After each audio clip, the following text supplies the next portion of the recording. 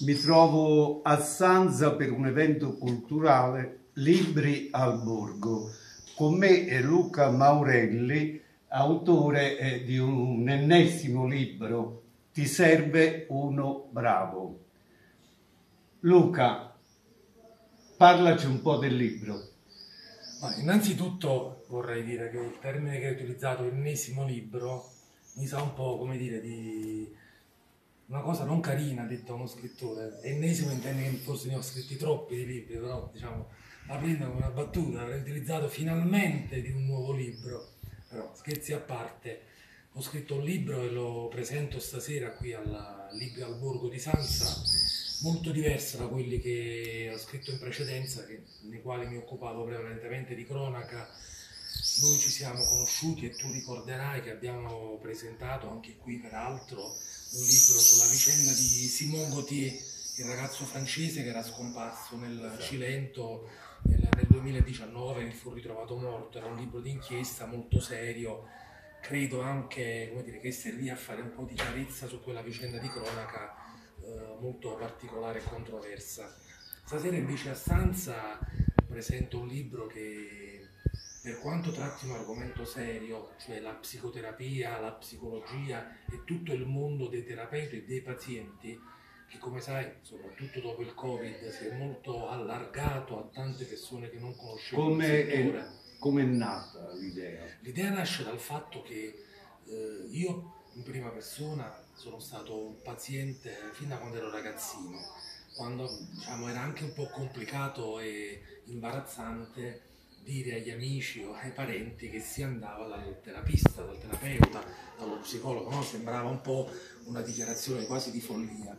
Oggi invece andare dal terapeuta è di moda, tutti lo dicono, molti VIP se ne vantano e soprattutto in tanti, sia ragazzini che adulti che anche persone anziane, vi fanno ricorso perché purtroppo la società è diventata sempre più complicata da sostenere dal punto di vista personale e molto spesso l'aiuto esterno è importante e finalmente lo si vive diciamo senza vergogna, senza la paura di, di dirlo. Io ho creato quindi cosa? Un manuale nel quale racconto in maniera ironica, credo anche divertente, molti episodi raccontando anche tutte le esperienze che ho avuto con una decina di psicoterapeuti, fornendo anche dei consigli su come relazionarsi quando si entra nella stanza di un terapeuta si stende, ci si stende sul lettino, ci si siede sulla poltrona, quale è il modo anche per aprirsi e per, per non fare pure un viaggio introspettivo. introspettivo. Anche un qualche piccolo segreto su delle trappole che il terapeuta potrebbe in qualche maniera porre sul vostro percorso, sul percorso del paziente. Io non ho fatto mai questa esperienza, potrei essere secondo te un paziente ideale?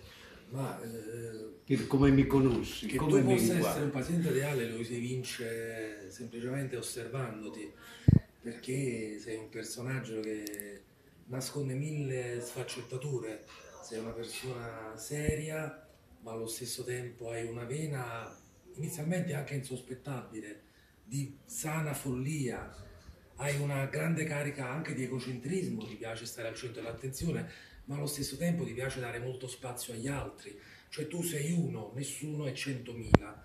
Perché viene usata spesso questa frase ti serve uno bravo? A volte la si utilizza un po' per eh, difendersi o quasi come per offendere qualcuno, no? Ti serve uno bravo, uno bravissimo perché stai rovinato. Talvolta invece questa frase cosa svela?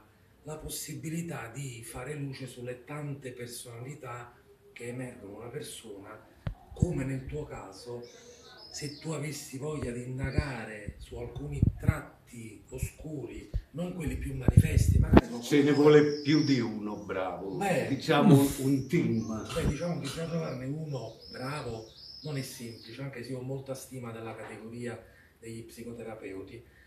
Anche il paziente però deve essere bravo, perché il paziente deve credere nella terapia, deve essere pronto a raccontarsi e soprattutto a raccontare le proprie paure che tu negheresti di avere di fronte anche forse a tua mamma, un'amica o un amico, ma che dentro di te probabilmente coltivi nella notte, durante il sonno o nei tuoi peggiori incubi.